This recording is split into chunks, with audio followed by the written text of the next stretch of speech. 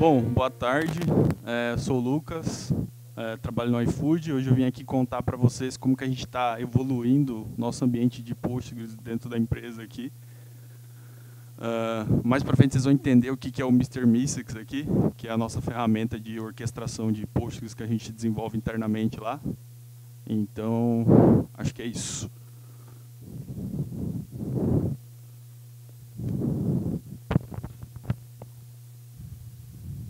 Que ligar isso aqui.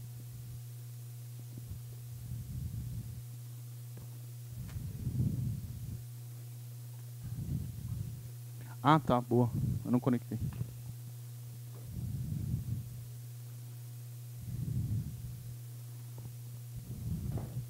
Beleza, vamos lá. Uh, bom, beleza, vamos começar. Uh, primeiro eu trouxe um slide aqui para para a gente comentar um pouco do tamanho do iFood, tamanho do nosso ambiente. Acho que é, isso vai fazer muito sentido com tudo que eu vou trazer aqui, porque é, é, tem muita coisa que o nosso ambiente é complexo, dado o tamanho que a gente tem hoje. Então, esses dados são de março do ano passado, então um pouco defasado, mas em março do ano passado a gente já fazia 60 milhões de pedidos por mês, a gente já tinha 270 mil restaurantes, 5 mil mercados, 1,5 milhões de downloads do aplicativo por mês. Então, acho que o importante dizer aqui que, principalmente esse número, né, quer dizer que a gente cresce muito mês a mês. Então, a gente tem vários desafios, não só de, de escalabilidade de throughput, coisas do tipo, mas também de escalabilidade de ambiente, assim, como que a gente consegue evoluir o nosso ambiente sem ter que ficar contratando mil, duas mil pessoas por mês, por exemplo, né? É, é, isso. O iFood é um serviço extremamente crítico, né? Tem muitas pessoas que dependem do que a gente faz, então tudo que a gente faz aqui tem várias premissas que a gente tem que respeitar. É, escalabilidade, alta disponibilidade, segurança com os dados, enfim, envolve muita coisa aqui. Então, achei importante trazer um pouco o contexto do ambiente aqui, para depois mostrar realmente a nossa solução aqui. Beleza? Bom, falando já em ambiente de posts que a gente tem dentro do iFood, hoje a gente tem 400, mais de 400 clusters em produção, posts rodando. A gente não usa serviço gerenciado, então a gente não é usuário de RDS. Todo o, o gerenciamento desses clusters é nosso. A gente usa serviço, a gente usa a Amazon, mas toda a parte é, a gente usa basicamente EC2, EBS, serviços da Amazon, mas não serviço gerenciado. Então, toda a questão do Postgres, de como funciona a replicação, alerta, como que eu monto o disco, qual versão eu uso, enfim, tudo isso é nossa responsabilidade de fazer funcionar. A gente tem, dentro desses 400 clusters, existem vários tipos de workload diferentes, de uma empresa muito grande. Então, a gente tem serviços core, que tem um throughput muito alto de escrita, tem serviços core que tem um throughput muito alto de leitura, tem serviços que, que não tem throughput alto, que é muito simples. Então, existe uma diversidade muito grande ali quando a gente fala de ambiente PG.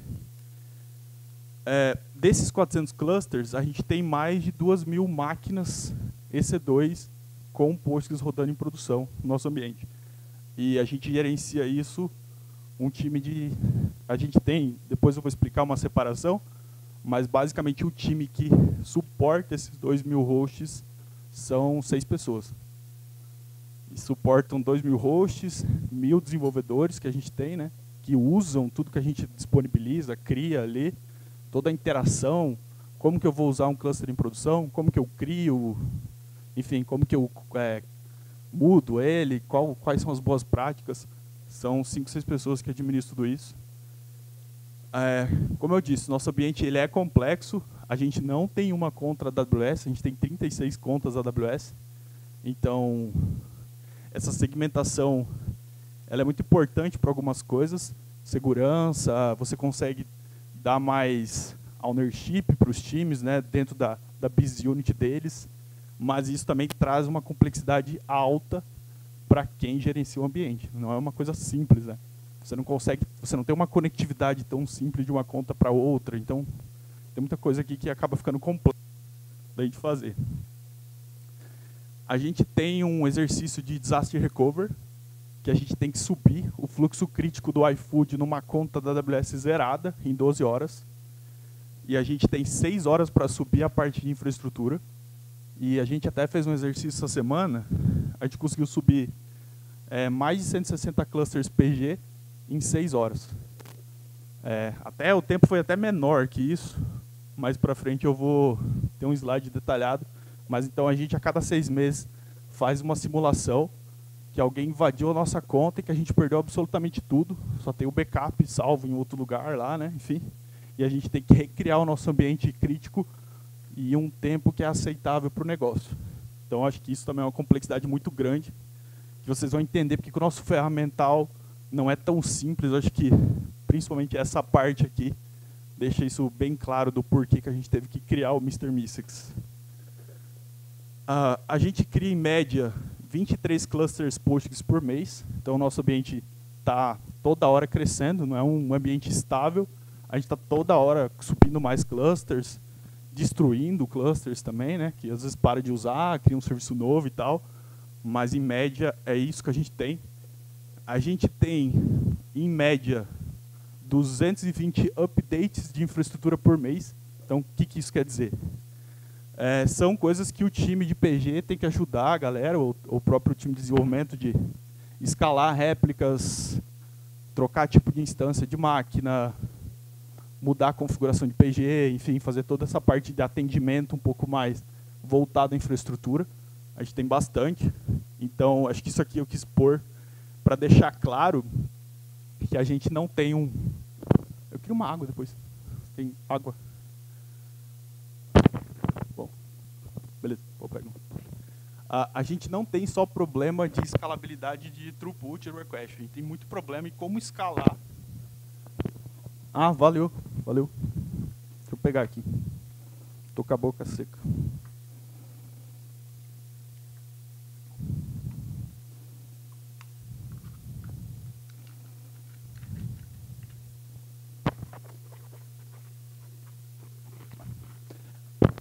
É, como eu disse, né, quando a gente fala escalabilidade, todo mundo geralmente, pô, quantos requests você suporta, quanta leitura, escrita. Pô, isso é muito legal, muito importante. Mas nosso ambiente é muito grande, que hoje o nosso principal problema é como que eu consigo escalar a operação de um ambiente desse. Esse é o nosso principal problema, assim. Como que eu consigo disponibilizar uma tecnologia de PG robusta para mil pessoas usarem sem depender de ter um DBA exclusivo para cada time dentro do iFood, que seria uma coisa inviável. Esse é o nosso principal problema, assim, que a gente tem. Como que a gente faz essa operação aqui de forma autônoma para os times que não conhecem Postgres e não conhecem infraestrutura? É por isso que o... Enfim, eu vou chegar lá. Com tudo isso que a gente teve é, há um tempo atrás, a gente criou um time dentro da tribo de DBRE. O nome desse time é Database Experience. É um time que eu sou gestor desse time. Basicamente é um, um time de desenvolvedores. Essas pessoas, elas não têm uma expertise alta em Postgres. Elas têm uma expertise alta em desenvolvimento, DevOps, AWS, esse tipo de coisa. Elas não conhecem a fundo como funciona uma replicação de PG, qual índice eu preciso criar, elas não estão envolvidas com trouble, troubleshooting, com esse tipo de coisa. Esse time cria ferramentas para a gente escalar o nosso ambiente de Postgres, para disponibilizar o nosso ambiente de Postgres para um desenvolvedor que entre no iFood novo, ele não tenha uma curva de aprendizado de dois, três meses para conseguir usar a nossa infraestrutura, que isso aí seria um gargalo para o negócio, não só para a gente, né? A gente teria que contratar mais uns 40, 50 DBAs para ajudar a galera ali e não é muito isso que a gente quer. Então, esse time, basicamente, são quatro pessoas, fora eu, que tem uma alta expertise em desenvolvimento e não em PG. E a gente, nesse momento, está criando ferramentas focadas em Postgres, que é o nosso maior ambiente dentro do iFood. Boa. É, depois né, de tudo isso que aconteceu, é, nasceu o Mr. Mystics, que é como a gente fala a nossa ferramenta ali. Mr. Mystics é um personagem do desenho Rick e Morty. E foi muito engraçado. que a gente queria criar um... O primeiro problema que a gente tinha era como que a gente conseguia criar clusters Postgres usando a nossa infraestrutura de forma mais rápida. Antes a gente tinha Terraform, Chef, um monte de coisa, que as pessoas do time de PG perdiam um, dois dias da semana aplicando Terraform, subindo role, fazendo update. Esse tipo de processo era muito demorado. Eu não sou um grande fã de Terraform, acho bem ruim de usar na real. E acabava, de certa forma, ocupando uma pessoa muito tempo aplicando infra code. Na época, a gente pensou em criar uma API que pudesse executar processos de infraestrutura de forma assíncrona e foi aí que a gente criou o Mr. Mystics. O nome tem um motivo é, muito importante, porque a gente se inspirou muito no GitLab. O GitLab tem runners, que você basicamente cria uma pipeline, um manifesto, e você aplica a pipeline. No Kubernetes ele sobe um job, faz o build, faz tudo o que você quer fazer, e esse, esse pod morre, ele tem um fim muito específico, então ele, ele sempre tem que ter um objetivo muito claro, ele tem um, digamos assim, um YAML ou alguma ação já embedded quando esse pod nasce. Então a gente queria criar, entre aspas, uma abstração parecida com essa. Foi aí que o Anderson, que está aqui, que é o autor do nome, trouxe a ideia do Mr. Mystics. Que basicamente no desenho, o Mystics, é esse personagem aqui, a existência é dolorosa para ele.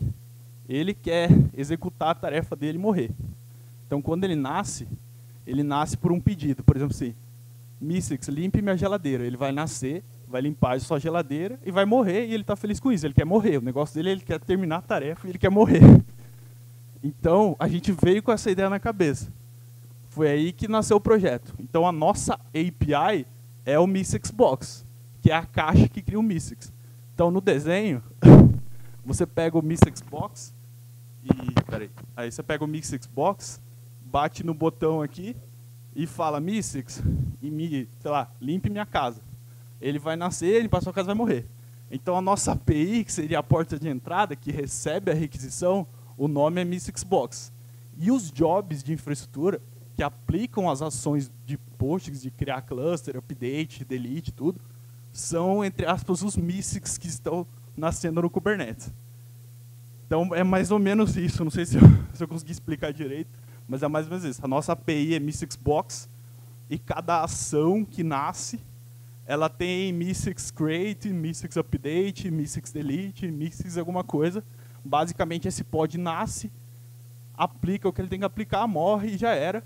Quem fica responsável por manter o estado da, do cluster, o manifesto, tudo que aconteceu, é o box e não o Mystics.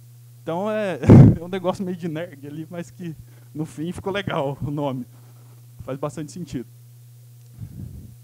Então, o que, que esse cara veio para resolver, né? Como eu falei, a gente tem a nossa infraestrutura é muito a gente está toda hora aplicando coisas e tal. A gente sempre teve muito problema com Terraform lá, porque o ambiente é muito grande. Então, por exemplo, assim, ah, tem que aplicar uma tag nova no nosso ambiente. Cara, pode tirar uma semana, 15 dias uma pessoa aplicando ali, porque 400 clusters, 2 mil máquinas, não é fácil de aplicar.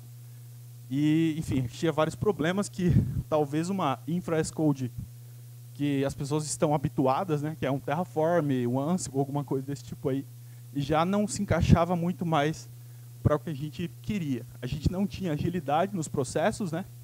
Então, qualquer mudança numa blueprint de Terraform, qualquer tag nova, qualquer coisa dolorosa, era difícil de aplicar, demorado pra caramba. É, a gente tinha muito a gente tem ainda, né? Perfis de uso diferentes. Então, como eu disse, o time de PG são 5, 6 pessoas que suportam mil desenvolvedores. De certa forma, a infraestrutura está muito relacionada com o desenvolvedor. Ele precisa é, saber o que está rodando, o, o que está provisionado. A gente não consegue alcançar esse nível de, geren, de gerenciamento. A gente tenta focar muito mais na plataforma e o desenvolvedor, quando cria um serviço, ele que chega para a gente falar, eu quero criar um cluster PG com três, quatro máquinas, com isso, isso e aquilo.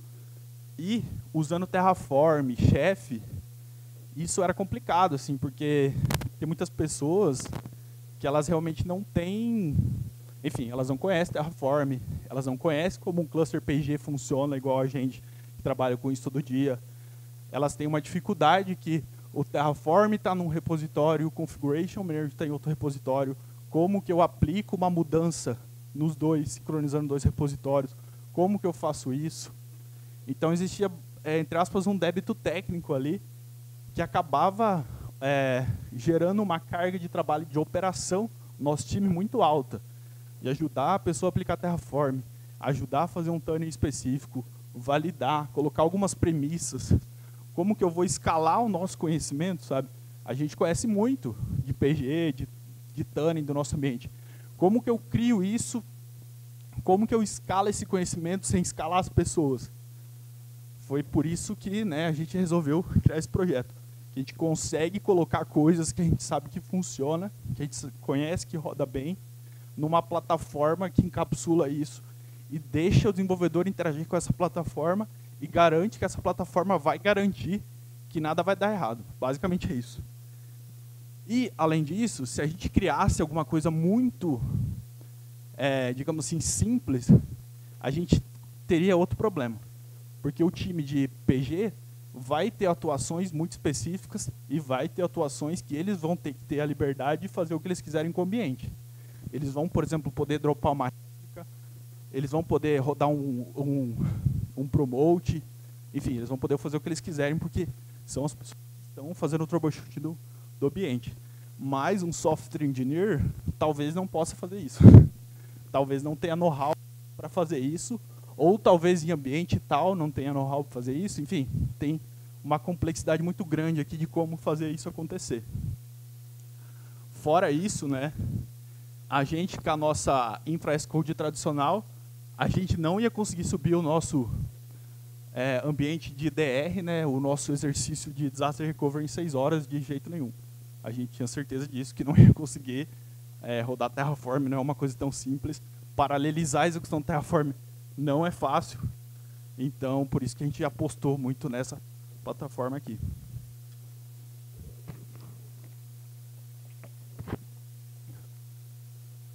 Então, o que, que ele é, né? Hoje o Missix está em 30% do ambiente do iFood. A gente não roda 100% do ambiente do iFood ainda nele. Tem um, a gente tem algumas contas legadas, enfim. não quero entrar no mérito aqui, mas tem algumas coisas ainda para jogar para dentro do gerenciamento dele. Mas basicamente ele é um orquestrador de cluster PG. Então tudo que a galera vai alterar num cluster PG é por ele. Ninguém mais executa Terraform Ninguém sabe se é Terraform por baixo, se é CloudFormation, se é Boto, sei lá, se é o que quer. As pessoas que interagem com os clusters PG, elas não têm contato com a infraestrutura, é, digamos assim, base lá. Elas não têm contato com que execu como é executado aquilo. É, se a gente usa Chef, se a gente usa Ansible, enfim, se é um script, a galera não tem a mínima ideia do que acontece ali por trás, porque a gente quer abstrair essa complexidade. Então, basicamente, a gente consegue fazer qualquer operação em cluster PG com ele. Desde criar cluster. Então, hoje, para você criar um cluster é muito fácil. Você executa um command line, depois eu vou mostrar aqui. Você executa uma ação, faz uma chamada na, na API, ele vai criar o cluster, vai te entregar o cluster pronto. Você pode adicionar réplicas. Você pode trocar a infraestrutura. Então, pô, eu tenho uma nova Xlarge aqui rodando, quero pôr uma 18 Xlarge quero voltar para uma C5 Large, quero trocar meu EBS de GP2 para IO2, enfim, faz o que você quiser com ele ali. Ele já tem tudo isso pronto. É, configurações do PG, ah, quero usar timescale nesse cluster. Beleza, vai lá, adicionando o manifesto dele, e ele já vai configurar o timescale para você. Quero fazer tuning da shared buffer no meu cluster. Beleza, vai lá, adiciona uma propriedade, ele vai lá e vai alterar a config de shared buffer no cluster. Aí a questão do restart é com... A pessoa tem que entrar lá e fazer o restart, ele não faz automático ainda. Mas toda essa questão aí de configurações, infraestrutura, tudo ele abstrai. Usuário também. Os desenvolvedores não têm contato com a senha. Então o desenvolvedor chega lá e fala, eu tenho esse cluster X, eu quero criar um usuário novo. Ele vai lá, é, diz se o usuário dele é leitura, se é escrita, qual o path do vault que ele quer por usuário. a gente vai lá, cria o usuário, coloca a senha, já coloca num path que as pessoas não têm acesso, só a aplicação específica dele dentro do Kubernetes vai ter acesso. Então isso também é uma coisa muito importante para a segurança, né? A senha não fica visível para ninguém ali. Então toda essa abstração aqui da nossa infraestrutura e como que o negócio acontece, ele que faz. A gente não tem mais esse contato tão perto assim. É, agora vem uma parte bem louca. Ele não é uma coisa mais simples assim. Ele nasceu com um propósito muito simples no começo, que era basicamente criar arquivos Terraform, aplicar arquivos Terraform e subir uma role no chefe. Hoje em dia o projeto já está bem grande, assim, já é de certa forma complexo para atender o que a gente tem. Então toda a infraestrutura do Mistix já são mais de 10 serviços e projetos que a gente tem ali. Então tem a API, tem os jobs que aplica, enfim, a gente tem todo um fluxo de fallback. Por exemplo, assim, ah, se todos os clusters Kubernetes do iFood estiverem down, a gente tem que conseguir fazer uma alteração de um cluster PG. Então tem todo esse fluxo aí de como deixar é, ele disponível mesmo que a gente esteja num caos extremo. Então isso tem uma complexidade também. Praticamente tudo que o time faz é em Golang. Então tudo que a gente está falando aqui é desenvolvido em Golang, os serviços, enfim, tudo que a gente usa aqui. Como eu falei, a gente tem um fallback implementado. Alterar um cluster PG é uma coisa muito crítica, é, a gente já passou por vários incidentes de cair, cair AZ da AWS, da API da AWS está degradada, enfim. Acho que muita coisa a gente já sofreu aqui. Então a gente tem que ter um fallback muito confiável que não dependa de infraestruturas muito complexas. O que eu quero dizer com isso? Kubernetes é uma coisa complexa, pode dar problema. Então a gente não pode depender 100% do Kubernetes ou do GitLab ou de alguma coisa assim. A gente tem que ter um jeito de aplicar as nossas alterações de PG num ambiente de muito caos. A gente tem isso. Como eu falei, a gente usa muito Kubernetes. Então, tudo que a gente roda do Mystics é Kubernetes. A API, os jobs, tudo que ele faz aqui é Kubernetes. A gente roda bastante é, com isso. Aqui tem um diagrama dele. Assim, talvez esteja desatualizado, mas não é... Então, basicamente, a gente tem as, as interfaces que se comunicam com ele. A gente tem um portal web, que é entre aspas, um RDS by iFood web lá, que a pessoa pode ir lá num portal web, criar o cluster dela e fazer tudo que ela quiser. Depois eu vou mostrar. A gente tem um command line. Esse command line ele é focado para pessoas de operação do cluster PG. Então, a ideia desse command line é que as pessoas que conhecem muito o PG consigam fazer qualquer tipo de alteração, seja destruir um cluster, mudar tudo que mudar tudo que quiser, causar downtime, enfim. Ele é um, uma coisa um pouco mais... É, ele é feito muito pensando em usuários avançados, né? A gente tem um agent que a gente desenvolve que roda, roda em todas as máquinas posts do iFood, então roda em, nas duas mil máquinas do iFood fazendo um scrapping da nossa infraestrutura. Então a gente tem um manifesto, que para quem usa Kubernetes é como se fosse o deployment, e a gente tem um cara que coleta a infraestrutura que está rodando. O que, que isso basicamente é? Se um dia alguém for lá fizer uma alteração no painel da AWS, por exemplo, eu consigo ter um diff do, do que está no manifesto com o que está realmente rodando. Isso é importante para a gente ter, viabilizar, o, subir os clusters PG das contas legadas que não rodam, que não são orquestrados pelo MISEX com o Mistix na nossa ambiente DR. Então, o que, que eu quero dizer com isso? Eu tenho um cluster numa conta legacy do iFood, que ela não é gerenciada pelo Mistix, mas eu sei a infraestrutura que está rodando. Então, se um dia eu precisar subir esse cluster num ambiente de DR, eu não preciso criar ele com a infraestrutura legada. Eu pego as informações que o cluster executa, gero um manifesto em runtime que a API do Mistix aceite e providencie o cluster.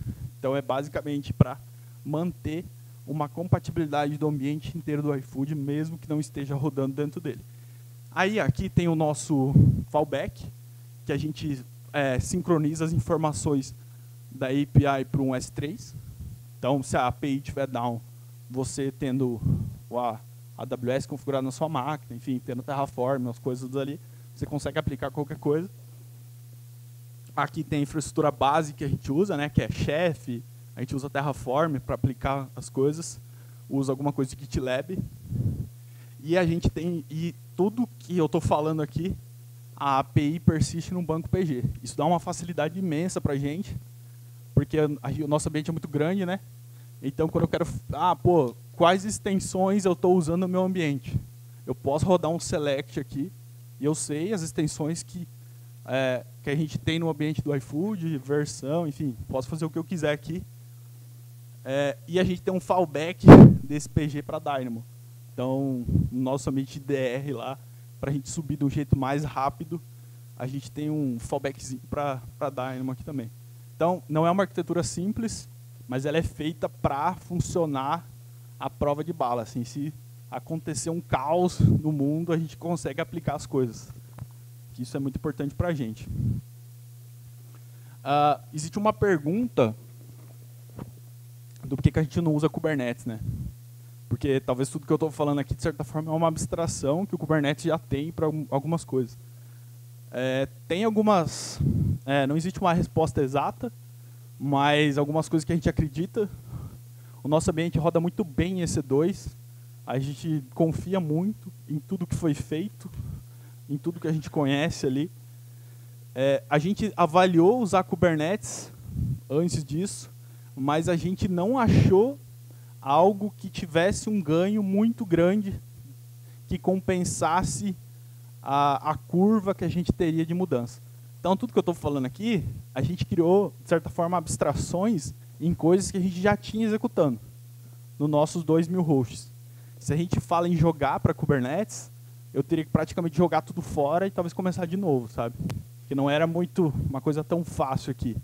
Mas a partir do momento que a gente tiver o ambiente inteiro rodando no MISIX, aonde está rodando e como está rodando, não importa.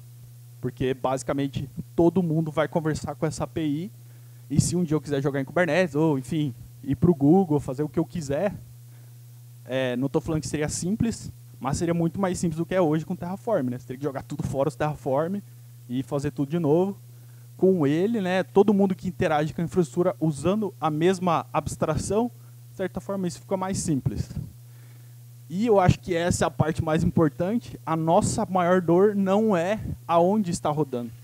A nossa maior dor é que a gente tem dificuldade de ter uma operação saudável para o tamanho do nosso ambiente. Então a gente tem 2 mil hosts, cinco pessoas, DBAs, que estão cuidando de produção, é, tem muitas pessoas entrando, né, que tem muita dúvida, né, que nunca usaram PG, às vezes nunca usou PG do jeito que a gente usa, enfim, nunca usou na nossa escala. Então, como que eu consigo ter um ambiente saudável é, para rodar esses dois mil hosts sem eu ter 30, 40 chamados por semana de pessoas precisando de ajuda? Essa é a nossa maior dor.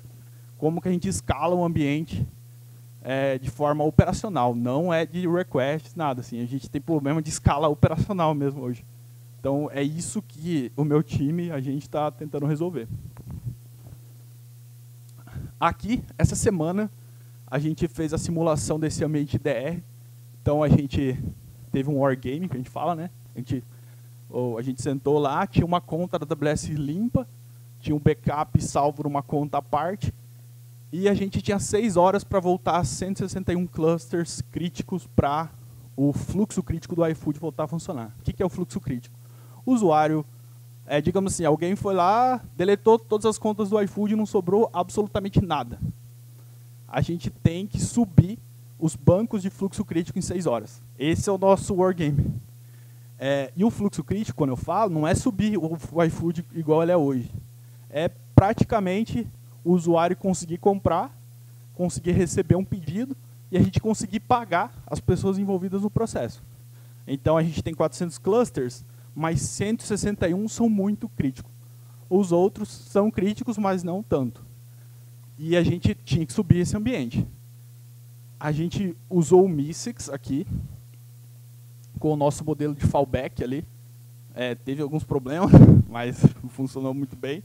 Então a gente conseguia, a gente conseguiu subir os clusters sem o pessoal de Kubernetes ter subido cluster de Kubernetes nenhum, sem o pessoal ter disponibilizado o GitLab, só com a conta criada mesmo e os nossos acessos. A gente subiu 161 clusters em 91 minutos. Esse 90 minutos já com o recover do backup. Isso daí o PG Backrash ajudou a gente pra caramba, né? Que a gente está usando lá. Então, aqui também tem clusters que os times de desenvolvimento consideram que não precisam do backup. Então, por exemplo, assim, vamos supor, o banco que entra pedidos do iFood é um banco que tem um histórico muito grande. Mas, para eu receber pedidos novos, eu não preciso do histórico. Eu preciso do esquema. Então, a gente provisiona o esquema para voltar a funcionar. O histórico é um problema que eu posso resolver daqui dois dias. Eu não preciso resolver em seis horas. Então, tem um pouco desse contexto. Os catálogos de restaurante, restaurantes, esses não tem o que fazer. A gente tem que voltar backup, né? Porque é uma informação base. Então, aqui nesses 61 clusters, tem todo esse movimento. Os 15% que a gente não consegue subir nesse tempo é porque são bancos que têm um backup muito grande. Então, aqui, geralmente eles se encaixam em perfis de banco de 15 tera, 20 tera. Aí é praticamente impossível subir nesse tempo sem a gente colocar uma infraestrutura muito grande. A gente sobe com a infraestrutura igual que está de produção, mas se talvez fosse um incidente muito, muito crítico, a gente poderia, por exemplo, pô, pôr umas máquinas com network tuning lá, com IO2, a gente talvez conseguiria bater esse tempo com 100%. Mas não era muito foco, tá? Bom, eu vou mostrar para vocês é, o nosso command line funcionando. Como que, como que funciona.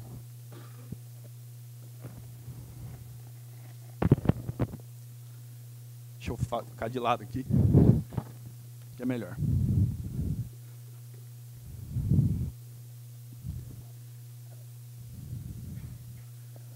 Beleza. Tá. Então, essa ferramenta que eu vou mostrar para vocês é como o time de Postgres usa o Mystics no dia a dia. É, eu vou mostrar o command line, como eu disse, é a ferramenta focada em usuários avançados que a gente tem. Aqui eu fiz. Na real, eu gravei o negócio, né? Enfim, não vou ficar escutando aqui na hora. Mas vocês vão entender como que é a. Como que é a, enfim, como que tudo acontece. Então aqui primeiro é, a gente tem o nosso command line, que é escrito em Go. É, a gente tem algumas opções. Então a gente, por exemplo, aqui a parte de config, tem todo um tratamento de login, accounts, né? Então quando você vai interagir com a infraestrutura, você tem que estar logado numa conta. Essa é a nossa abstração. Isso facilita porque a gente não queria misturar, a gente queria deixar muito claro para o usuário que ele está num espaço seguro e definido. Então, estou mexendo numa conta de desenvolvimento, eu seto a conta de desenvolvimento aqui, tenho liberdade de eu fazer o que eu quiser aqui, que eu sei que eu não vou tocar produção. Se eu der um use account numa conta de produção, eu explicitamente estou dizendo, estou em produção. Então, acho que isso foi bem importante. Então, aqui tem algumas coisas né, que eu vou voltar. É, isso aqui é bem inspirado no kubectl, quem conhece. A gente tem o current account, tem a lista de accounts que a gente tem no iFood. Isso aqui é legal, porque a gente tem uma integração com o time de, de SRE Cloud. Quando provisiona uma conta nova no, no iFood, automaticamente a gente sobe um serviço desenvolvido pela gente que registra essa conta nova na API do Mystics. Então, por exemplo, ah, subir no, cinco novas contas no iFood, ninguém precisa vir inserir isso aqui na mão. Isso aqui automaticamente se conversa e o usuário já pode criar clusters PG lá sem a gente ter, ter feito nada. É, então, aqui tem a lista de contas, que é aqui embaixo, né? Aí aqui é o login, set credential, aí a gente usa o login do iFood, que a gente usa para tudo lá, e o use account. Então, basicamente, quando a pessoa começa a usar o command line, ele vai logar, vai fazer o set credential, vai dar o list accounts, como é que eu tô no, eu peguei o nosso backup de sandbox, né? Só tem duas contas. Essa é a parte ruim, tem umas coisas legas aqui, tem umas flags ali, mas enfim, está trabalhando para matar isso. Aí basicamente tem a lista de contas, você diz qual conta você está usando, então Mystics Click Config Use Account passa o nome da conta e ele fala que você está na AWS account específica e a partir de agora todos os comandos que você executa automaticamente são dessa conta. A ideia do user account é que o usuário não precise ficar passando a conta toda hora. Quem usa, quem usa o command line da AWS sabe que isso é meio chato. Toda hora tem que ficar passando tudo, tudo. Isso não é muito produtivo, né? Então a gente criou essa abstração aqui. Boa. Então, é, vou seguir os passos aqui que eu tenho. Aqui daí tem o comando list, aqui para você listar os clusters PG que você tem. É, aqui, né, no caso, depois eu vou explicar um pouco melhor. Deixa só... Boa. Aqui a gente já criou o Mystics pensando em, no futuro, trazer outras coisas a não ser PG. A gente tem coisa de Kafka, tem bastante coisa aqui. Então a ideia é que no futuro tenha outras coisas a não ser PG, como se fosse um workstation das pessoas. Mas hoje é, hoje é praticamente PG. Então, quando você vai fazer os comandos, é, você passa PG aqui, né? E daí, basicamente, são tudo isso que as pessoas podem executar aqui. Então, a gente tem o apply, né, que eu falei, cria, edita, faz tudo que você quiser. Tem o check, que é tipo assim, é um evento que diz se, a, se o que você aplicou deu certo, se falhou, qual passo falhou. Depois eu vou mostrar mais com mais detalhes. Você pode deletar cluster também. Você pode dar um describe, isso é muito importante para quem está na operação. Às vezes, pô, a gente tem 400 clusters, então é difícil a pessoa ter na cabeça o que, que aquele cluster é e tal. Então, um describe, a pessoa roda o describe ali, já bate o olho, pô, isso aqui é um cluster grande, tem 4, 5 máquinas, enfim, ajuda pra caramba. Aqui é para você pegar manifesto e tal, enfim. Aí aqui, né, basicamente você dá o list clusters, e aqui ele vai listar todos os clusters PG daquela conta específica. Aqui, claro, né, que é uma simulação aqui, né? Aí a gente tem o último status aplicado, então, por exemplo, aqui esses clusters foram removidos com sucesso. Enfim, é mais ou menos isso.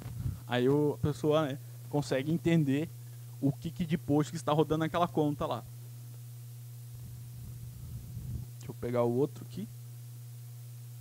É, esse é o describe que eu comentei, que ajuda muito, porque é muito difícil você ter na cabeça exatamente o que, que é cada coisa, né? Boa, basicamente isso. Então, aqui, né, ó, ele listou para mim que o cluster PG new alguma coisa tá na AWS Count tal, nessa region, no environment tal. A gente tem o Slug, meio que um vínculo para os times.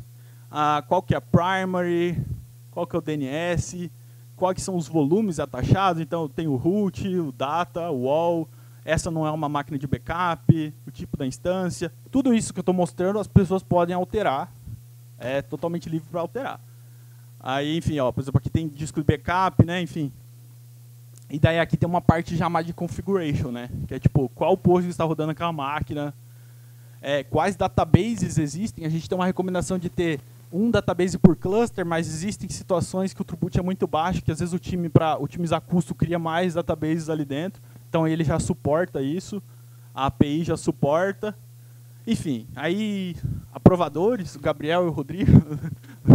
e aí tem usuário, enfim, tem bastante coisa aqui que nem vou entrar tanto no detalhe. Aqui é a experiência para criar um cluster PG. Então, lembro que a gente ia 23 vezes no mês, a pessoa tinha que definir um Terraform imenso, uma role de chefe imensa, aplicar, demorava, sei lá, uns 40, 50 minutos para criar um cluster. Agora, basicamente, é fazer isso aqui. E tudo acontece. Você cria um cluster, passa o nome, né, no meu caso é pgconfbr, o slug service name são controles internos que a gente tem de tag, de recursos da AWS, para custo, saber qual time é aquilo lá. Quando você fez isso, o, o que, que é o da hora aqui do negócio? É, a gente, quando vai executar a criação de cluster, a gente não executa numa conta. A gente executa na conta que você definiu. Então, por exemplo, a API do Mystics, está numa conta específica da AWS, que é uma conta de engineer que a gente faz parte. Mas eu estou criando um cluster para logística. Não faz sentido essa minha conta ter conectividade com as outras 36 contas. Seria uma falha de segurança. Então, quando acontece isso, ele cria um, um pod, né, que seria o MISEX, lá na conta de origem para executar a criação do cluster. Então tem uma complexidade meio grande nisso, mas hoje já funciona assim. Aí basicamente aqui você criou o cluster, é assim que, né? Então para você ver é, se aquela tua uh, solicitação deu certo, tem o comando check que a gente fala aqui. Então basicamente, ah, eu executei uma ação. Ele vai lá e fala, ó, oh, beleza, eu recebi a sua ação aqui. Se deu certo ou não, você tem que usar o comando check para ter certeza se aquilo deu certo. O comando check basicamente é uma coisa muito simples. É, é todas as etapas que você que a gente tem para provisionar a infraestrutura para executar a sua ação. Então, por exemplo, aqui é, eu tenho que criar o job no Kubernetes. O job deu sucesso. Eu tenho que pegar o manifesto. Eu tenho que fazer o upload do chefe. Tem que executar tal coisa, enfim. E quem retorna se deu certo ou não é o cluster PG. O cluster PG manda para nossa API falando assim, beleza, eu subi, eu tô saudável, pode virar produção para mim se você quiser aqui que está funcionando. É... E deixa eu ver. Eu tenho mais alguma. Eu não lembro. Boa. Tem mais um aqui. Esse é, esse get é o manifesto que eu tanto falo, né? Então, isso aqui é um conceito que a gente, a gente, usou bastante do Kubernetes. Então, quando a gente fala de um cluster, a gente tem um YAML aqui, que, que é isso aqui é um JSON, né? A nossa API, a nossa API do MISIX é REST lá. Então, basicamente, você passa esse manifesto e a gente sabe que você está falando desse cluster, enfim, o que, que tem aqui. Então, é uma coisa bem simples. A gente usa é versionado, então é bem parecido com o que o Kubernetes faz aqui. Aí tem algumas coisas de conta e tal, enfim, é, prioridade, ó. Aí aqui, ó, a gente tem os usuários, né? Aqui tem algumas coisas de log, quem que quem que fez o update.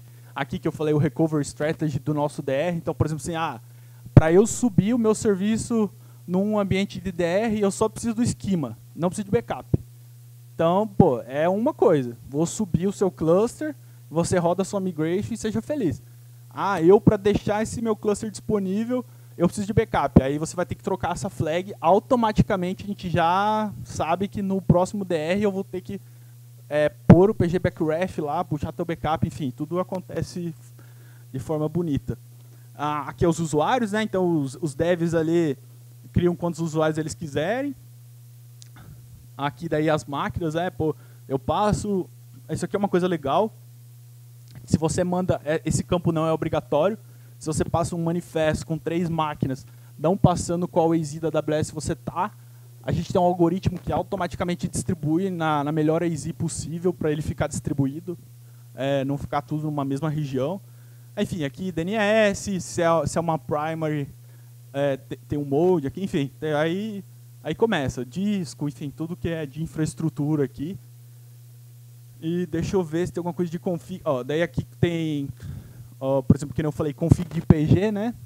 Aí aqui você pode customizar o all level. Veja bem que essas coisas, esse manifesto, são para usuários avançados. Um desenvolvedor, tipo, muito difícil ele saber o que é o all level, assim. Muito, muito difícil, não, é, não faz parte do dia a dia dele aí o, a versão do dump que a gente roda, o, aí aqui também é config do PG Backrest, enfim. É basicamente isso a demo que eu queria mostrar para vocês. Uh, agora voltando aqui à apresentação em si, né? É, como eu disse, né, a gente tem perfis diferentes. Eita, rolou.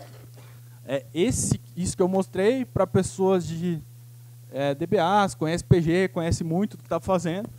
E como a gente tem poucas dessas pessoas e muitos desenvolvedores, a gente tem um perfil que é como que eu é, coloco todo esse know-how, essa infraestrutura de uma forma mais simples para o usuário, digamos, final, para o desenvolvedor que está subindo um serviço novo lá e quer usar Postgres e, e boa.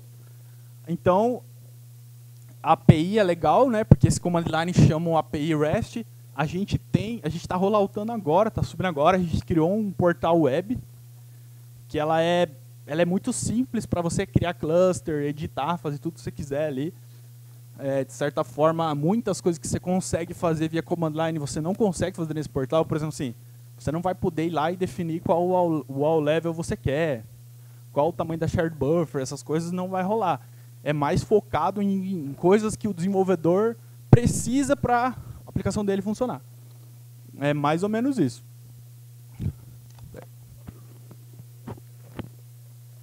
E é mais ou menos isso aqui. Isso aqui ainda não está... Tá, a gente está testando ainda. Gente, no, o front-end não foi o nosso time que desenvolveu, porque a gente não é muito, muito bom nisso, para ser sincero. É, então, basicamente, é essa experiência assim. Aqui é, é, é, um painel, tem os clusters, posts que você tem, tem as ações aqui, a última ação.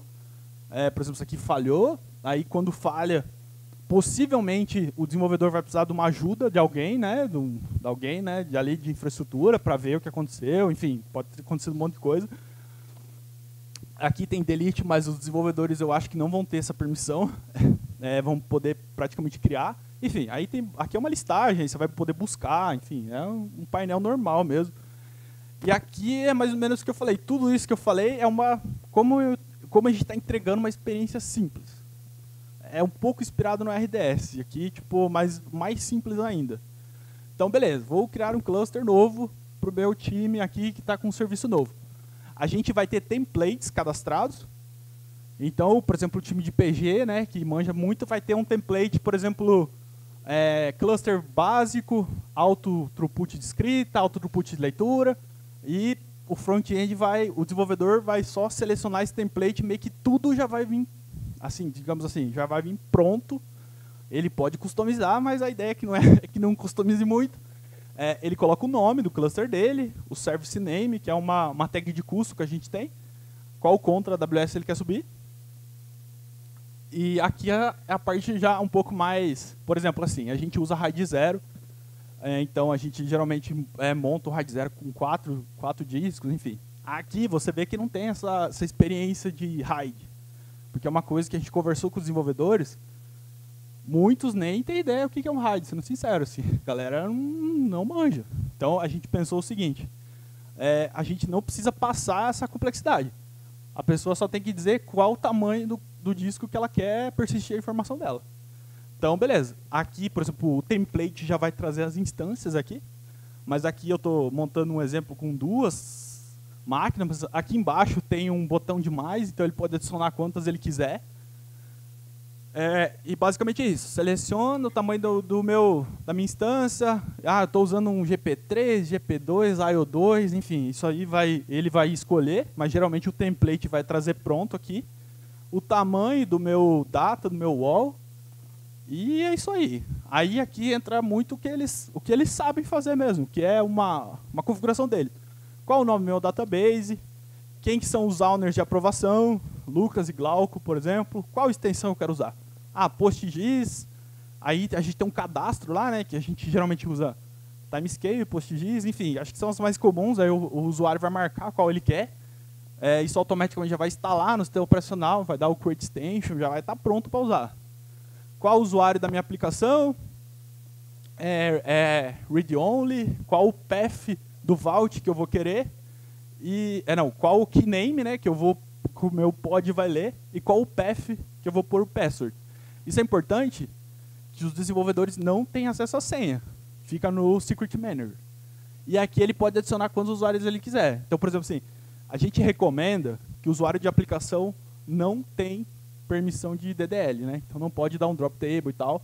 Então a gente geralmente o default aqui, esse meu template não tem, mas é ter um usuário para aplicação, que é read write, e ter um usuário para migration que ele não usa na aplicação. Então, basicamente foi lá, preencheu tudo, mandou um criar e é isso aí. Aí cai nessa tela que é um log do que o Missix executou. Enfim, que é tudo que eu comentei, né? E é isso. É, queria só dizer que a gente está com o stand ali, né? A gente tem uma vaga aberta. Quem quiser passar ali, trocar uma ideia com a gente, fica à vontade. É, ali no nosso stand aqui na frente aqui. E, bom, queria agradecer o, o time que eu tô, né, que é o Database Experience, que a gente desenvolve essa ferramenta aí, está fazendo tudo acontecer. O pessoal de PG que usa a nossa ferramenta está aqui também. Então é uma colaboração muito grande dos dois times ali. Quem está lá na ponta usando e quem está desenvolvendo, né? Então agradecer a galera e é isso. Valeu, muito obrigado.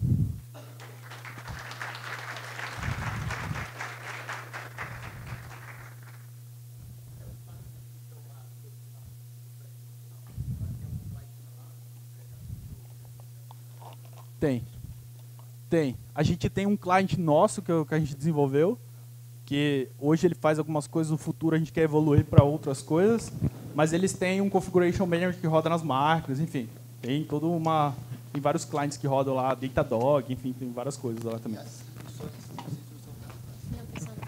E as distribuições, elas são homogêneas ou tipo é variado assim, versão? a gente tem máquina, ó, a gente tem máquina até com disco efêmero, por exemplo. Então, que é aquele EBS montado, enfim, o nosso ambiente é, tem, é bem variado. Mas geralmente o default é, são máquinas C, alguma coisa, C5, com GP2 ou GP3. Esse é o nosso baseline, assim, mas depois vai mudando muito.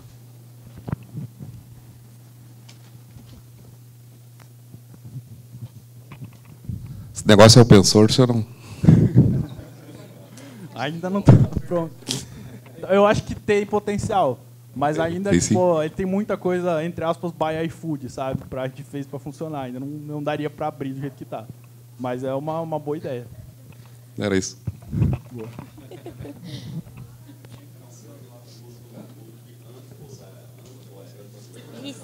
Peraí que eu não escutei.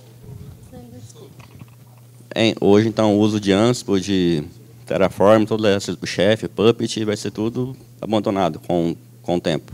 Então, a, por enquanto, a gente não tem essa ideia, porque a gente, o nosso foco é migrar o, digamos, o legacy para dentro dele. Aí a gente, entre aspas, vai resolver muito dos problemas de operação que a gente tem. Né? A gente tem muita demanda, muito pedido de ajuda dos desenvolvedores.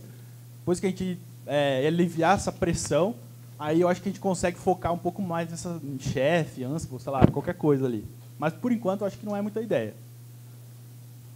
É, nessa ferramenta, ela, ela, faz uma centralização de criação de usuário em todos os clusters? Faz, usuário de banco? Faz. Usuário de aplicação. É, aplicação. O usuário que, que vai acessar o banco, ele Usuário um... final, não. O usuário final tem uma integração com o LDAP, com algumas outras coisas do iFood e tem um fluxo de aprovação. Por exemplo, assim, ali você viu que todo cluster tem os aprovadores. Por exemplo, ali estava no exemplo eu e o Glauco. Como que, que acontece? Aí o iFood tem um painel de acessos. O Fabrício já usou lá. e aí a, pessoa vai lá e fala, ah, eu quero um usuário de escrita nesse banco aqui. Aí vai cair uma requisição para essas pessoas aprovarem. Eles aprovaram, automaticamente vai lá e cria o usuário e manda para você. Mas não é na nossa API, porque é um fluxo um pouco diferente. Ah, tá. É mais isolado. Um, é, um pouco mais isolado. É, boa tarde. Eu vi no outro PGConf que vocês apresentaram um, um, Aurora que vocês tinham, né? E a dúvida era é, por que, que vocês resolveram abandonar o Aurora e voltar para o EC2? Teve alguma questão técnica, algum recurso que não tinha ou era uma questão exclusivamente de custo e tudo mais? Cara, faz muito tempo que não usa RDS. Assim. Acho que desde 2000... Bom, o Matheus Oliveira até manja mais que eu, ele que trabalhava no time. Mas eu acho que faz uns... Faz mais de cinco anos que a gente saiu do RDS já. Na época, a gente teve bastante problema com o split brain na região de São Paulo. Isso não provavelmente não deve mais ser assim. E daí a gente migrou para um deployment nosso ali, né? Hoje, com o tamanho do nosso ambiente, não faria sentido virar para RDS, porque a gente tem uma liberdade total, né? Tudo que a gente estava fazendo aqui é nosso, entra na máquina, faz o que quiser, instala a extensão que quiser. E também pelo custo, né? Para nós não faria sentido nenhum usar RDS hoje.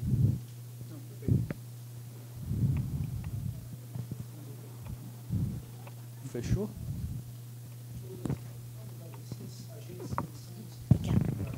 Go. O, o agent nosso é escrito em Go. E daí tem o do chefe, né, server, que é Ruby, do Datadog é meio Go e Python lá, enfim, uma confusão. Mas o nosso agent é, é em Go, Hoje ele é, tem um uso bem simples ali, né, que eu falei para fazer o describe da infraestrutura. No futuro talvez a gente escale o uso dele para outras coisas. Mas é isso. Beleza, galera. Valeu aí. Quem quiser trocar ideia, tô por aí. Obrigado.